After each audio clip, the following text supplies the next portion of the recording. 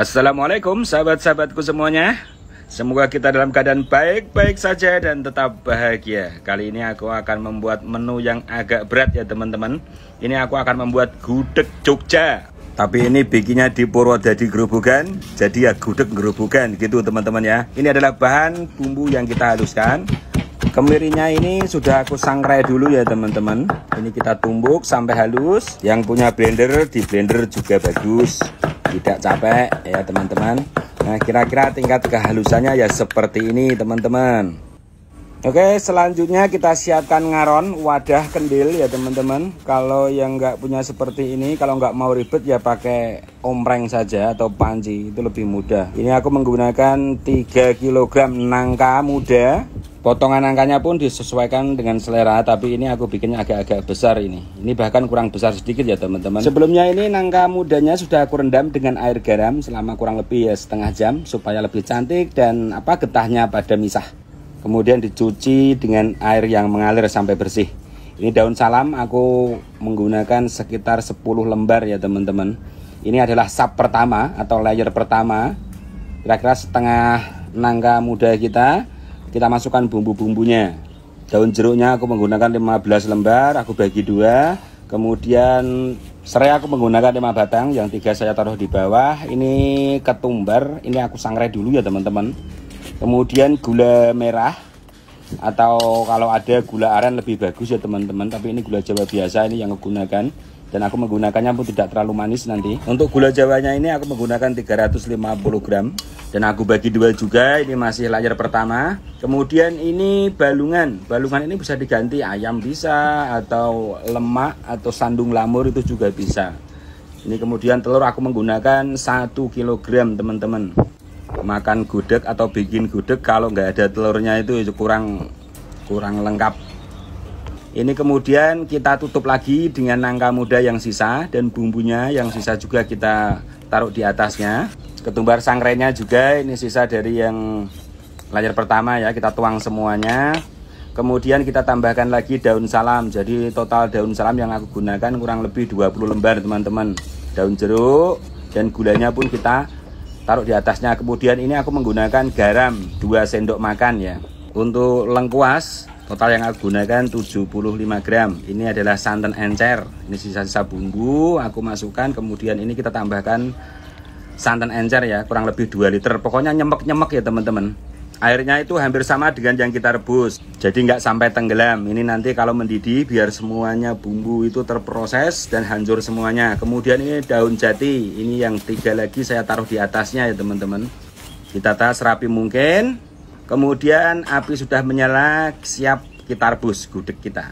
Untuk membantu warna aku hanya menggunakan daun jati. Aku tidak menggunakan teh ataupun kulit bawang merah. Jadi ini saya bikin normal dan standar ya teman-teman awal merebus tadi jam setengah 4 sore ya jam 15.30 ini jam 5 jam 17 ini turun hujan di kampung saya.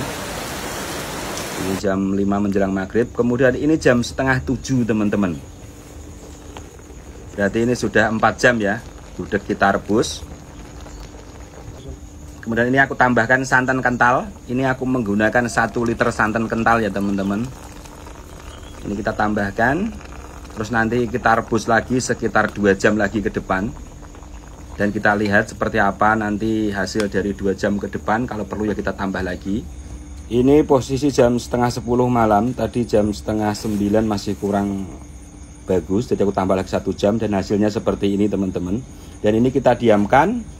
Apinya pun sudah kita matikan ya. Tadi kita rebusnya pakai api yang melintir-melintir. Nah ini kita diamkan di sini.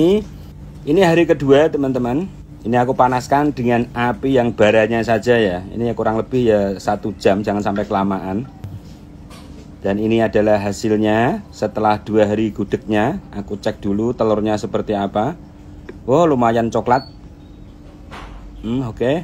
ini gudeg siap kita angkat dan nanti kita sajikan ya teman-teman. Nah ini sudah aku taruh di dalam kendil seperti ini untuk warna menurut saya kurang sempurna. Ini perlu satu hari lagi ya teman-teman. Dan dipanasinya itu hanya dengan bara api saja, jangan terlalu besar apinya. Untuk warna telur sudah oke, lumayan menarik ya teman-teman. Cuman warna gudegnya saja ini yang kurang medok, kurang mantap ya. Nah ini kita makan dengan sambal bawang begini saja itu sudah nikmat banget. Sekarang kita cek telurnya seperti apa teman-teman. Oke bagus juga menarik telurnya sudah berwarna kecoklatan sampai ke dalam ya teman-teman. Ini rasanya pasti gurih ini.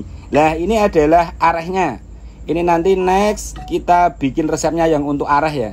Jadi kalau gudeg nggak pakai arah ya kurang sempurna ya teman-teman. Ini sudah ada sambal kreceknya, resepnya sudah aku bagi kemarin dan hasilnya seperti ini penampilannya semuanya. Ini kurang opor ayamnya teman-teman. Nah dengan satu paket ini kita sudah bisa membuat atau menyajikan gudeg di rumah kita sendiri ya teman-teman. Gudeg, sambal krecek, dan arahnya. Sambal yang aku gunakan untuk gudeg sambal ayam bakar. Resepnya sudah aku bagi ya teman-teman.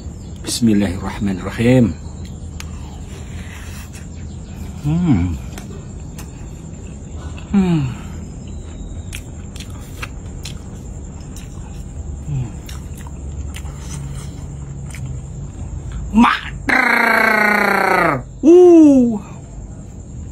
Gudeg ini sangat nikmat sekali teman-teman. Untuk tingkat kemanisannya Ini aku bikin yang mondo-mondo ya teman-teman. Jadi aku kurangi takaran gulanya Jadi manisnya nggak terlalu manis. Tapi kembalinya ke selera teman-teman. Aku mau gudeg yang manis Jogja banget itu aku juga suka. Untuk sambal kreceknya ini juga medok sekali bumbunya teman-teman. Apalagi ditambah dengan udang ataupun hati sapi atau tambah lagi pete. Pokoknya sesuaikan selera saja. Itu rasanya hmm, bener-bener menggetarkan lidah ya teman-teman. Dengan resep ini gudeg, krecek, dan areh itu kita sudah bisa membuat warung gudeg teman-teman untuk resep-resep ini insya Allah rasanya tidak mengecewakan ya teman-teman. Ini bukan resep yang terbaik tapi setidaknya resep ini tidak mengecewakan dan layak untuk dijual.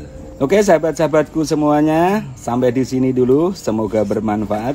Terima kasih sudah singgah dan bersilaturahmi di sini. Semoga kita semua dalam keadaan sehat walafiat, diberikan kemudahan semua urusan kita yaitu urusan dunia dan akhirat. Panjang umur yang berkah, murah rizki. Amin.